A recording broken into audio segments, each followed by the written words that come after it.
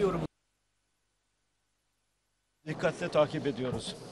Evet, teşekkürler. Medya grubuna, medyaya, medya, medyası susturulan bir e, ülkede demokrasiden söz edilemez. Bu konuda e, hükümeti dikkatli olmaya, tutarlı olmaya ve bizi dünyaya rezil etmemeye davet ediyorum. Burada, burada.